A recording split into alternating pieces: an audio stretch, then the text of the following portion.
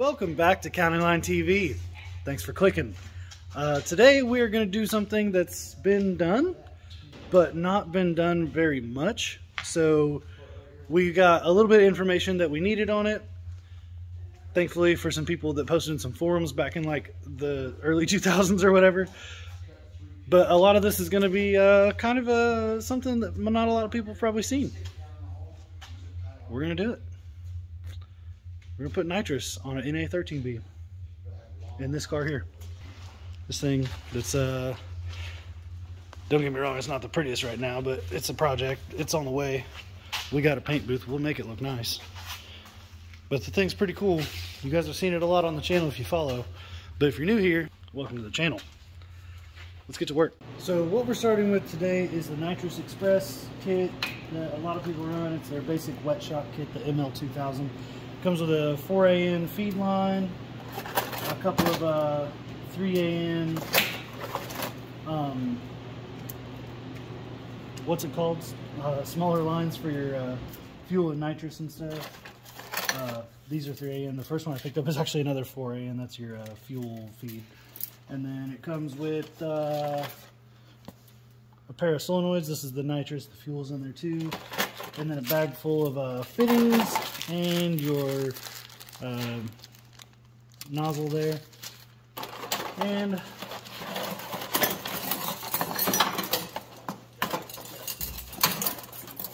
some bottle brackets which is where we're going to start. In comes a big baba. We just did our back and forth talking about our options and stuff and like uh, with this car there's i'll show you the gas tank is right under this portion of the floor. So we don't really want to drill through it without dropping the tank and we don't want to drop the tank. So with these nitrous bottles, there's only two ways you can mount it. Like this, where your uh, nitrous line goes out towards the back with the bottle standing up. Or you can do it with the nitrous bottle laying down and the hose going down. So we were to do it like this, but it's like drill a hole in the tank or whatever. And we thought it'd be cool to go like this but the uh, harness bar is just a little too far away from the floor. So we decided to do this and mount the bracket holders on the side there. So that was our back and forth and why we're doing what we're doing.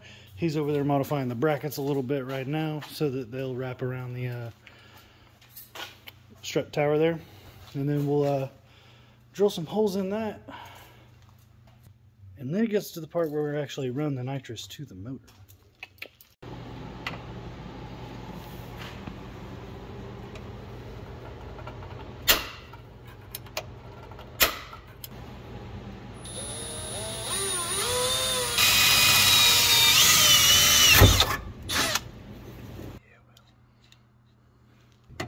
So far. Haven't really had to stress test them any.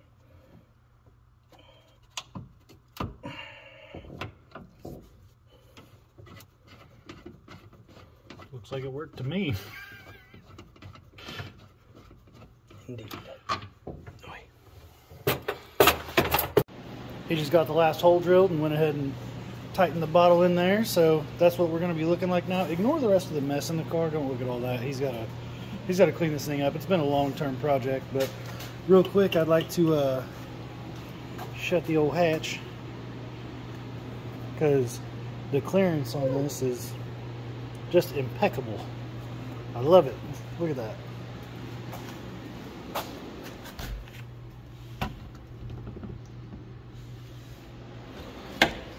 That's sweet.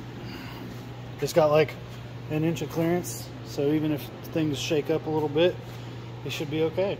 I'd say the next thing we'll do is go ahead and put the bottle nut on and start running the line through the car or under the car or whatever we choose to do.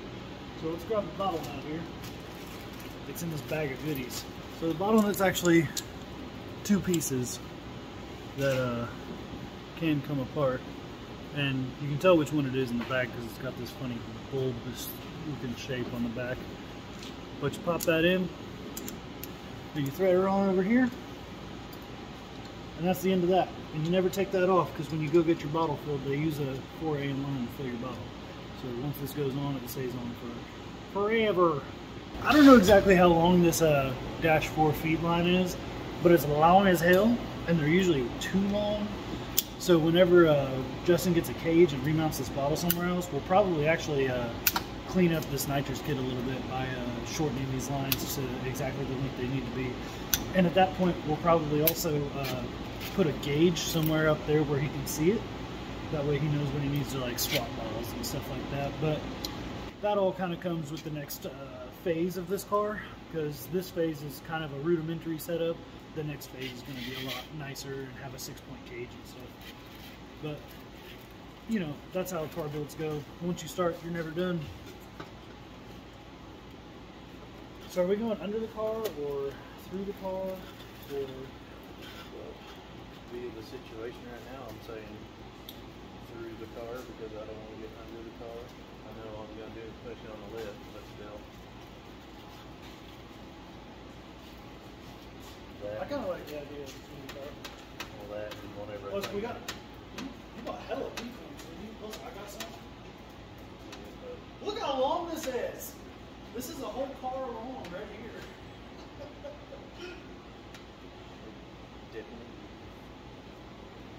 Jesus.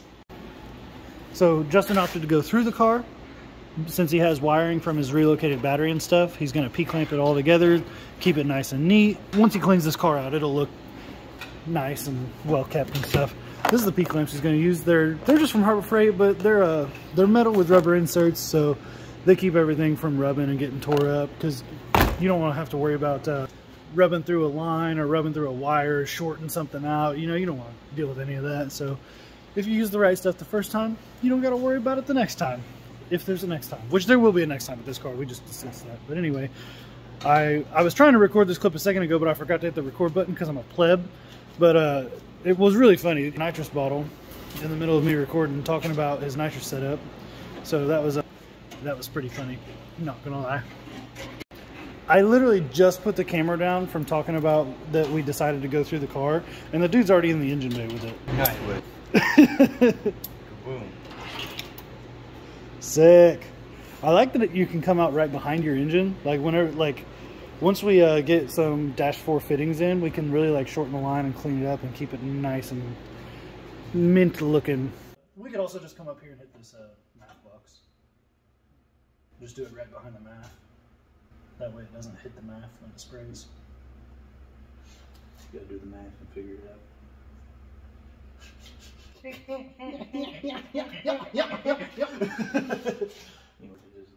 We'll be right back after this consideration. So off camera, Justin just uh, put the fuel solenoid together with the 3AN line that's going to go to the nozzle and then the 4AN line that goes to the T that we have to put in his fuel line, which we'll do in just a second, and then the nitrous solenoid ready to hook to the line that he just ran through the car. So uh, let's make something happen with that guy right there. He's about to cut it. Yeah, we're fixing to see how much fuel's left in this. Yeah, no, I'm not helping you with the angle, the dangle here. You tell me they actually gave good line on that one. Yee. Gasoline. Dame más gasolina. Woo, you wouldn't believe how bad that burns cuts. Boy. Lord, need her to guide me in. Boy, there we go. Slight dilemma. Two slight dilemmas. Slight dilemma number one. There's a purge kit here, but uh, in order to run that, we need a T. We just need an eighth NPT T, something you can totally pick up at like a hardware store or Home Depot or something. So not a big deal, but we need one, and it's like midnight. We don't have one, so this project's gonna have to go into tomorrow. And then small dilemma number two. Uh, this is 16th NPT, and none of us have a 16th NPT tap. We have 8th NPT, but no 16th. So we were going to drill and tap that, but the problem is we ain't got no tap. You ain't got no tap. How you supposed to tap that? You know what I'm saying? I'm just trying to tap that.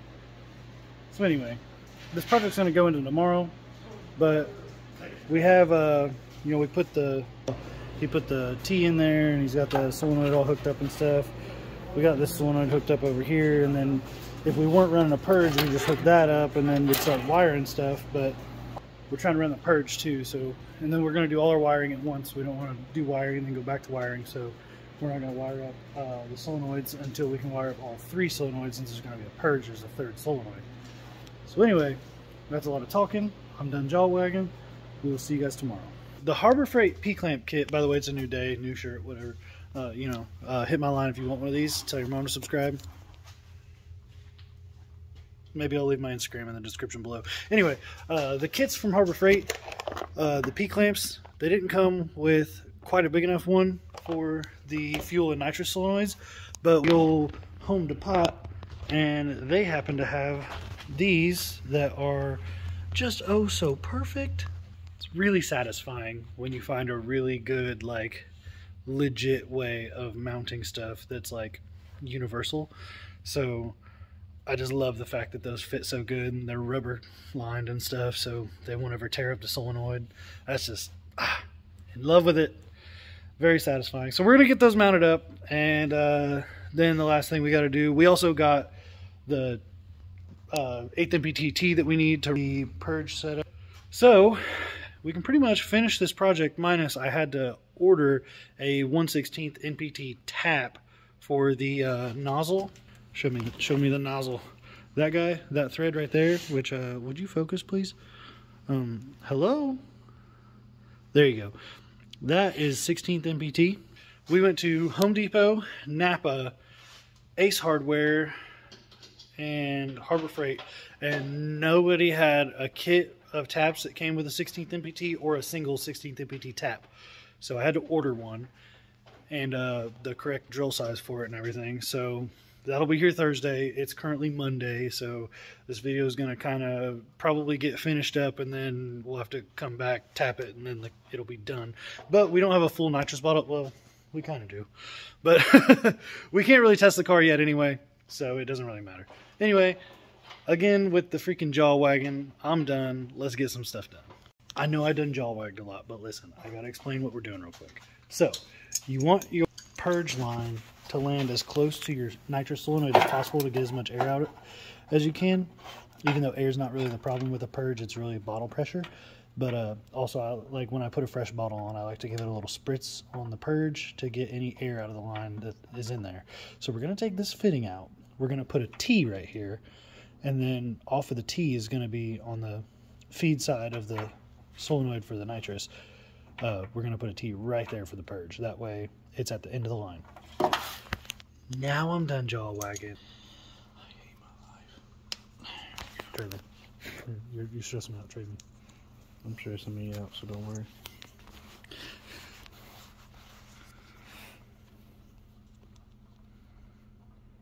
Swear to God, you fuck up one time. Well, trust me, I won't. I do this for a living all the time. See? Money.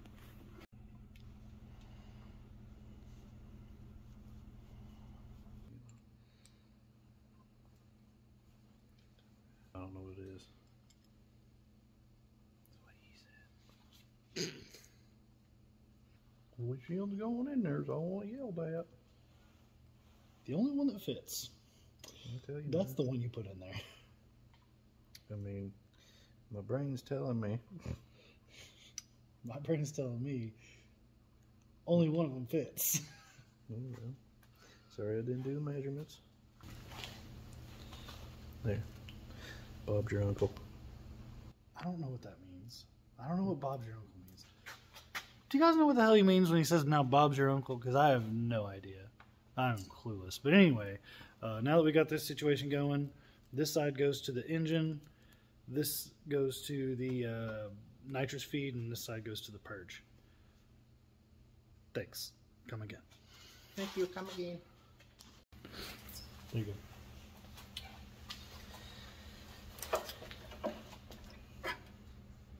I'm just gonna block it with my fat arms anyways.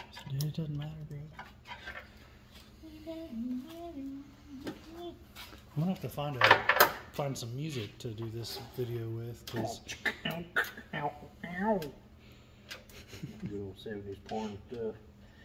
Or maybe I'll just let the let the, let the audio play because we said some real dumb this time. You gotta realize the sexual tension in the room. Tighten these bolts up. Toy. Like a toy gun. Toy, toy. That's like you didn't watch movies. How the hell you know these movie references? What Toy like a tiger. It's from Austin Powers Goldmember. is it really?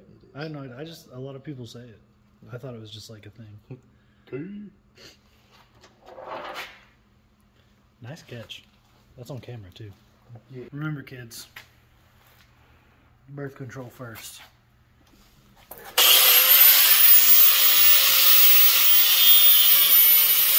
I thought I was gonna be slick and uh, go ahead and ordered some Dash 4 AN fittings because all the stuff leading up to the solenoids is Dash 4, but turns out the fittings are dash 4 but the line is different than regular like dash 4 line that you put fittings on because the dash 4 fittings i got don't fit. So i guess we're going to order some more dash 4 line i also just ordered a tap today so like our plumbing stuff isn't going to be able to be done until at least this weekend it's monday right now so we've got some time before this next weekend but I was really hoping to get the plumbing part of it done today and then just wait on that tap to put that in the intake and then we could do the wiring for another video. It's going to be like a part one, part two setup.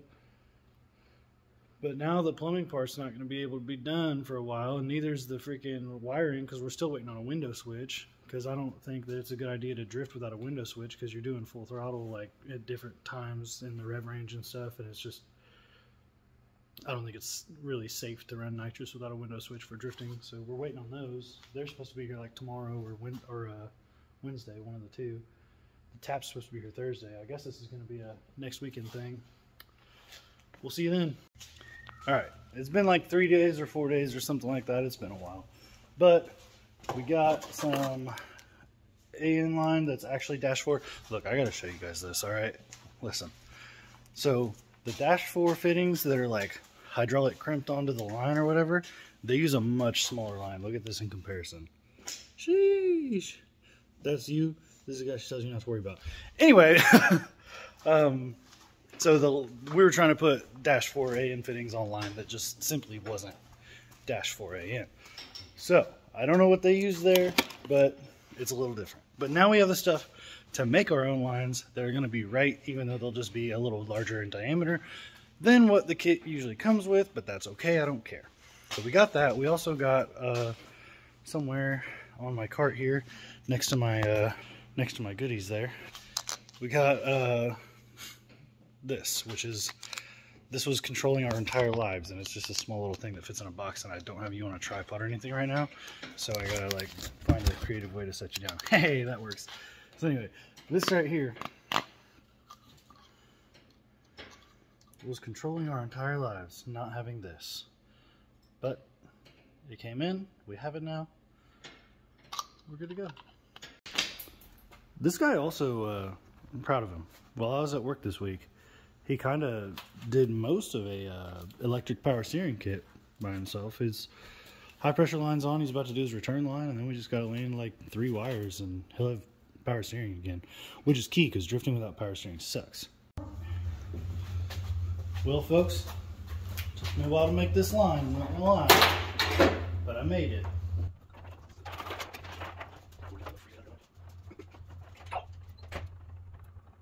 And voila, the purge is plumbed. He's gonna mount this somewhere right about here, and he's gonna manipulate this hard line to go out one of the vents on his hood. So I'm just gonna leave that like that. He can deal with that. He can also tighten it up. It's not tight on either end. But again, that's for that's for him to do. All right, so the last thing we have to do to polish off plumbing this uh, nitrous kit, then we have to wire it. But to finish off plumbing it, we got to tap the hole that has been put here. So it's got a pilot hole already that he drilled before, and now we're just gonna.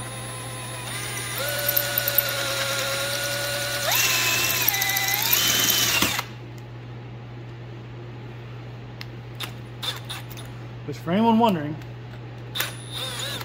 uh, that's a size D drill bit. She wants the, D. Uh, that's what you got to drill for a 116 27 pipe tap. Never forget to uh, chamfer your hole before you drill if you can. Big shout out to uh, Kramer for hooking me up with a good set of chamfers. And always use some lubricant. You never want to go in raw. Oh yeah, I tapped that. so uh, that's what she's looking like. Completely plumbed up. We're in the intake. We go around to our solenoids. This, uh, before this solenoid tees off and goes over here to the purge, which just needs a mount and then wired up. So don't worry about the fact that it's floppy right now. It won't be. But, uh, you know, before the fuel solenoid comes up and taps into the fuel line right before the regulator, our nitrous line goes back through the car back there. And that just, uh, that, that wraps things up. So, hope you like this episode. Uh, stay tuned to the next one so we can wire it up and I doubt we do testing in the wiring video, but there will probably be a dedicated video after that, just a testing, because when we test it, we are also going to do a little bit of a like rudimentary tuning. Uh, the car's on a factory computer or whatever, but we have an aftermarket um, adjustable fuel pressure regulator and lots of jets. Uh, we have tons and tons of jets for nitrous and fuel. So we're gonna make sure this thing, we're gonna throw a wide band on it and make sure this thing is nice and happy and just maybe a hair on the rich side while she's got nitrous flowing. That way it'll be good and safe and make nice big rotary flames just like we all love. so we'll see you on the next one. Don't forget to tell your mom to subscribe.